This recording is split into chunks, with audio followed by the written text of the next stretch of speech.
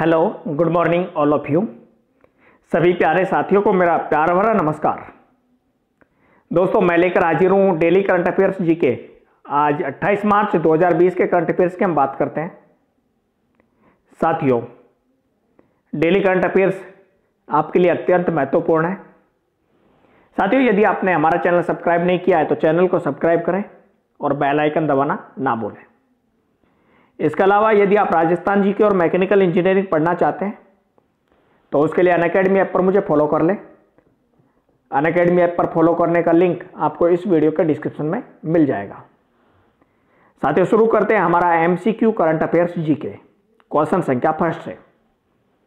Corona virus के बढ़ते खतरे के बीच किस राज्य सरकार ने कोविड 19 कोरोना वायरस अस्पताल बनाने की घोषणा की है?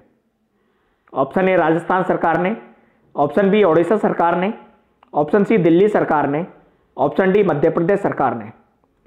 साथियों, इस समय कोरोना वायरस ने महामारी का रूप ले रखा है।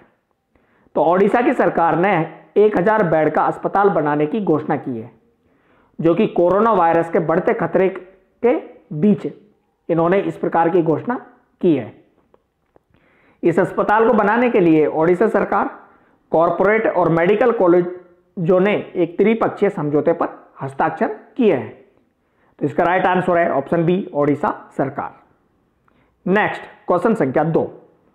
Ministry of commerce and industry के कौन से विभाग ने कोरोना लॉकडाउन के समय ज़रूरी चीज़ों की डिलीवरी और उनके ट्रांसपोर्ट को चेक करने के लिए कंट्रोल रूम बनाया है?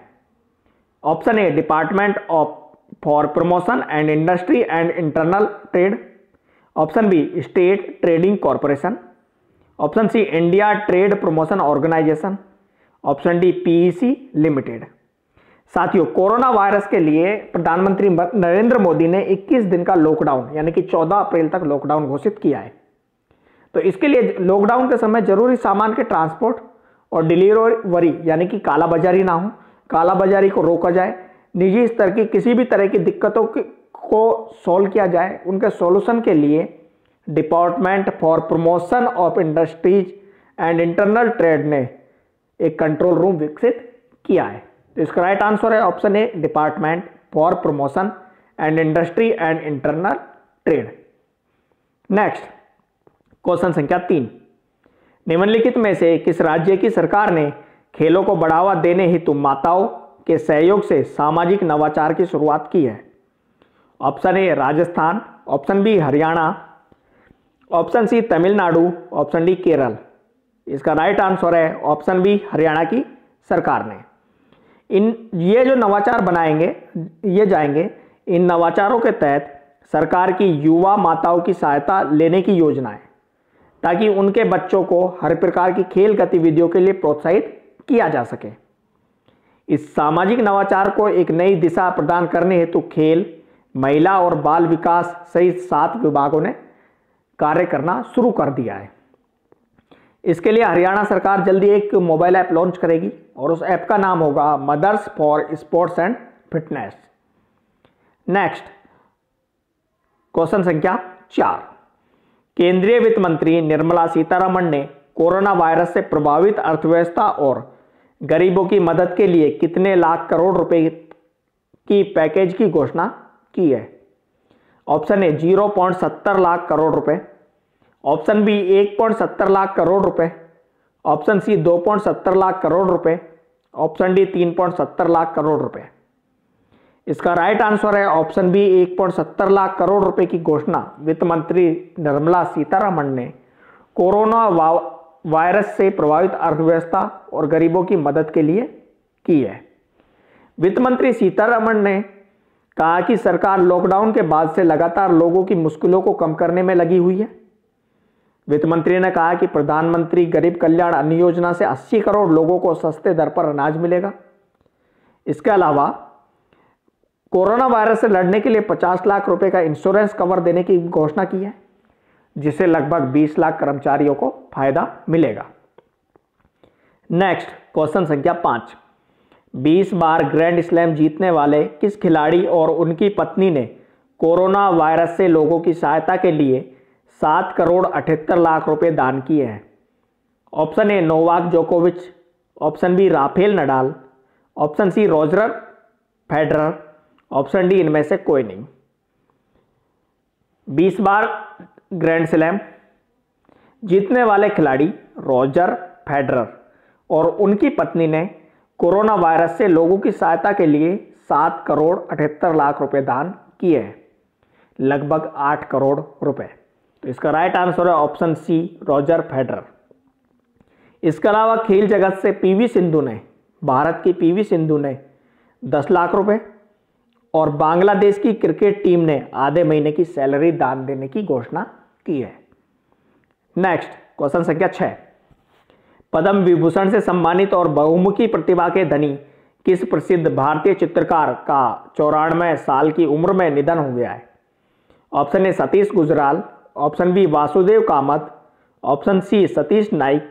Option D, Nandlal Bose. साथियों, भारत के पूर्व प्रधानमंत्री इंद्र कुमार गुजराल के छोटे भाई सतीश गुजराल का चौरानवे साल की आयु में निधन हो गया है। उनका जन्म 25 दिसंबर 1925 को ब्रिटिश इंडिया के झेलम, जो कि अब पाकिस्तान में है, वहाँ पर हुआ था। तो इसका राइट आंसर है ऑप्शन ए सतीश गुजराल। इसके अलावा भारत सरकार ने सतीश गुजराल को उनके उत्कृष्ट योगदान के लिए, कला के क्षेत्र में उत्कृष्ट योगदान के लिए सन 1999 में उन्हें पद्म विभूषण से सम्मानित किया था। तथा इसके अलावा सतीश को कला का राष्ट्रीय पुरस्कार तीन बार प्राप्त हो चुका है। नेक्स्ट क्वेश्चन संख्या सात। कोरोना वायरस के चलते केंद्र सरकार ने थ्री प्लाई फेस मास्क की कीमत 30 जून तक कितना रुपया तय की है? ऑप्शन ए पंद्रह रुपये ऑप्शन बी सोलह रुपये ऑप्शन सी सत्रह रुपये और ऑप्शन डी अट्ठारह रुपये दोस्तों, बढ़ती मांग को देखते हुए और फेस मास्क की कमी के चलते और कालाबाजारी के चलते सरकार ने कदम उठाया है कि सरकार ने कदम उठाया है कि थ्री प्लाई फेस मास्क की कीमत सोलह रुपये कर दी जाए तीस जून तक। तो इसका राइट आंसर है ऑप्शन बी सोलह रुपये साथियों, कोरोना वायरस खतरे को देखते हुए सरकार ने मास्क और हैंड सैनिटाइजर को ज़रूरी उत्पादों की लिस्ट में शामिल कर लिया है। नेक्स्ट क्वेश्चन संख्या आठ। आध्यात्मिक संगठन ब्रह्मा कुमारी संस्था की किस मुख्य प्रशासिका का निधन हो गया है? ऑप्शन ए, दादी जानकी। ऑप्शन बी, दादी Kaushalya. Option C, Dadi Rani. Option D, Lakshmi Rai. आध्यात्मिक संगठन ब्रह्मा कुमारी संस्था की मुख्य प्रशासिका और स्वच्छ भारत मिशन की ब्रांड एम्बेसडर राजयोगिनी दादी जानकी का निधन हो गया है। Option A is right answer, Dadi Janki. Dadi Janaki के बारे में बात की जाए तो दादी जानकी 104 साल की थी। राजयोगिनी दादी जानकी ने 21 साल की उम्र में ही आध्यात्मिक पथ पर चलने का निर्णय ले लिया था। उन्होंने माउंट आबू के ग्लोबल हॉस्पिटल में अंतिम सांस ली और दादी जानकी को most stable mind in world का खिताब मिल चुका है। नेक्स्ट क्वेश्चन संख्या नौ। RBI reserve bank of India ने रेपो रेट। ब्याज दर में पाँच पॉइंट पाँच, पंद्रह प्रतिशत से घटाकर कितने फ़ीसदी कर दिया है? ऑप्शन ए, तीन पॉइंट चालीस प्रतिशत। ऑप्शन बी, चार पॉइंट चालीस प्रतिशत। ऑप्शन सी, चार पॉइंट नब्बे प्रतिशत। ऑप्शन डी, पाँच पॉइंट बीस प्रतिशत। दोस्तों, कोरोना वायरस के चलते लॉकडाउन है। 21 दिन का लॉकडाउन है 14 अप्रैल तक। इससे अर्थव्यवस्था की गतिविधियों पर गहरा असर पड़ रहा है, यानी कि आर्थिक गतिविधियाँ बदल रही है। जिसके चलते हुए रिज़र्व बैंक के गवर्नर शक्तिकांत दास ने ब्याज दरों में ज़ीरो प्रतिशत की कटौती का ऐलान किया है, जिससे ब्याज दर पाँच पॉइंट पंद्रह प्रतिशत से घटकर चार पॉइंट चालीस प्रतिशत हो गई है। नेक्स्ट, क्वेश्चन संख्या दस और इस आज का हमारे करंट अफेयर्स का लास्ट क्वेश्चन। विश्व रंगमंच दिवस, वर्ल्ड थिएटर डे, प्रत्येक साल निम्न में से किस दिन मनाया जाता है? ऑप्शन ए 27 मार्च को, ऑप्शन बी 20 जनवरी को, ऑप्शन सी 10 मार्च को और ऑप्शन डी 12 अप्रैल को। दोस्तों, विश्व रंगमंच दिवस उत्सव एक ऐसा दिन है जो रंगमंच को समर्पित है। विश्व रंगमंच दिवस की स्थापना 1961 में इंटरनेशनल थिएटर इंस्टीट्यूट द्वारा की गई थी। यह दिवस इसलिए भी महत्वपूर्ण है क्योंकि इसका आयोजन महत्वपूर्ण क्यों है? क्योंकि अंतर्राष्ट्रीय रंगमंच का संदेश है जो विश्व के किसी जाने माने रंगकर्मी द्वारा रंगमंच और शांति की संस्कृति विषय पर उसके विचारों को व्यक्त करता है। और हर साल विश्व रंगमंच दिवस 27 मार्च को मनाया जाता है। तो ऑप्शन इज़ राइट आंसर 27 मार्च। और यह जो दिन है दुनिया भर में थिएटर कला के महत्व के प्रति लोगों में जागरूकता पैदा करने के लिए मनाया जाता है। तो साथियों, ये था हमारा करंट अफेयर्स जी के वीडियो आपको अच्छा लगेगा, एक बार वीडियो देखिए और अच्छा लगे तो लाइक करिए शेयर करिए सब्सक्राइब करिए और जो भी आपका क्वेरी जो भी क्वेश्चन है कमेंट करिए। साथ ही बेल आइकन यानी कि घंटा दबाए, जिससे आपको नोटिफिकेशन मिलते रहे। एक इंपॉर्टेंट ये भी है कि वीडियो का पीडीएफ डाउनलोड कर सकते हैं। पीडीएफ का लिंक आपको वीडियो के डिस्क्रिप्शन में मिलेगा। थैंक यू सो मच धन्यवाद।